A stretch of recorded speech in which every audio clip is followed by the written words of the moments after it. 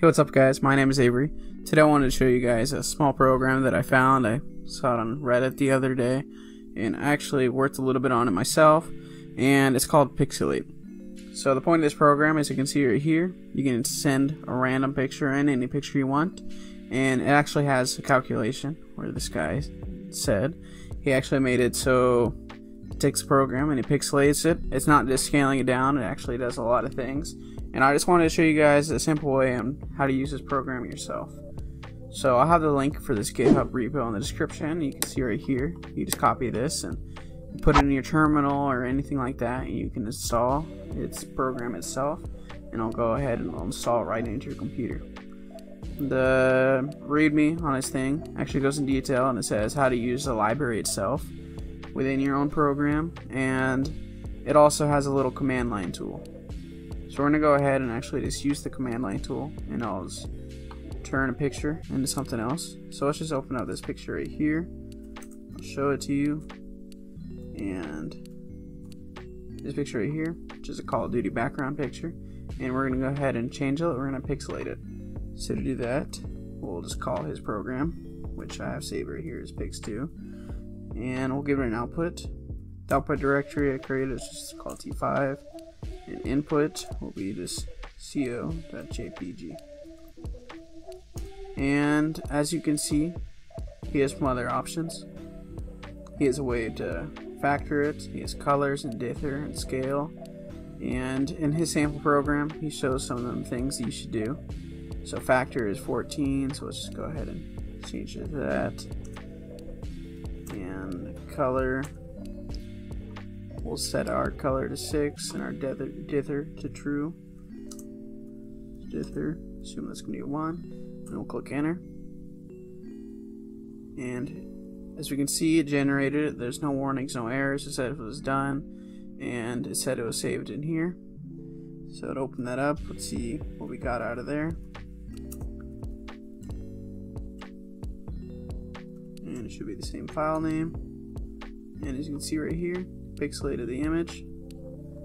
And if you were to change the factor, or the color, it's going to make the image adjust it a little bit. And it's going to do that every single time.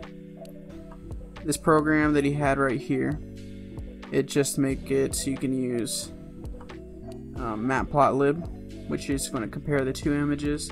So I actually have that right here. And if you were to run the program on the picture, it's going to generate it like so. This might take a second.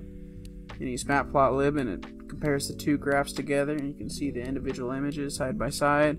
You can save them and yeah. And along with that, I'll have the link to a repo that I used where I made a GUI with it. And I believe it's in here as well. Um, I'll have the link in the description and it's right here basic GUI. In this program you can go ahead and install it yourself too and I'll quickly show you guys how this works as well.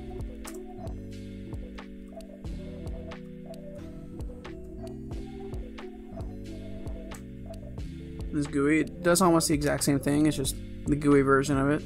So we can go ahead and open a file, go up one, have this image right here, and we click open and as you can see it opened the file right here. This has to default to the same default he had. And click pixelate. It may take a few seconds and as you can see it changed right there. Let's say we change the color. We make it so there's more color and there's a lower factor. It's going to make the quality a little bit better. And let's see what that does in a second.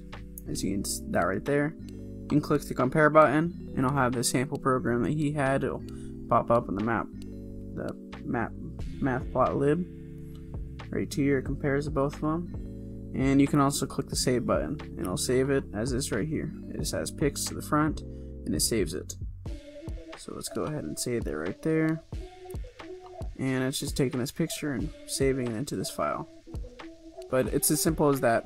If you guys want to take artwork and pixelate it say for your game or anything like that or you want a cool background um, just go ahead and check out the links in the description if you can do it from the command line just download his program but if you want a GUI for it also go ahead and download it from mine repo as well And I hope you guys enjoyed the video. If you guys liked it, go ahead and leave a like. It helps me make more videos just like this. And if you guys are new to the channel, feel free to subscribe. I make videos similar to this, and I also make game development videos almost every single day. Our goal by the end of the month is to reach 500 subs. We're at 436 right now, and if you guys can subscribe, that'll really help us out. And see you guys next time. Bye.